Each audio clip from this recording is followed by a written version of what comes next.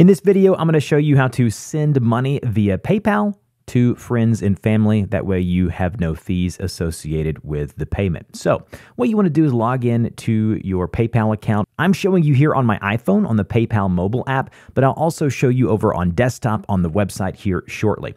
So, what you want to do is go ahead and log in, and then you'll see the link or button there that says pay. If we tap the pay button there at the very bottom, you'll then be presented with uh, the ability to search or decide who you're sending the money to. Type in their PayPal name or email address here, and I'm going to select this person here.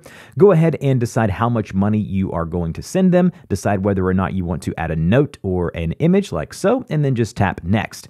Once you've done that, you will see a drop down menu here that says friends and family. If we tap the arrow there, you can see you can choose. It's either for goods and services. So basically, this protects you uh, and allows you to possibly get a refund.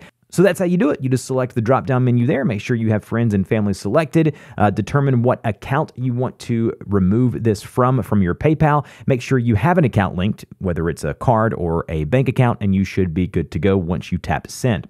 If you are over on the desktop, I am on paypal.com. I'm on the homepage here. You should see your quick access links here. If you don't, you can click the pencil icon and make sure that send money is selected. Once you've done that, go ahead and click into send money. Once you're here, go ahead and type the email address or username in PayPal, the person that you want to send it to. Once you've selected that person, you can add a note and change the currency format here. For me, it is US dollar. And then choose the amount and click next.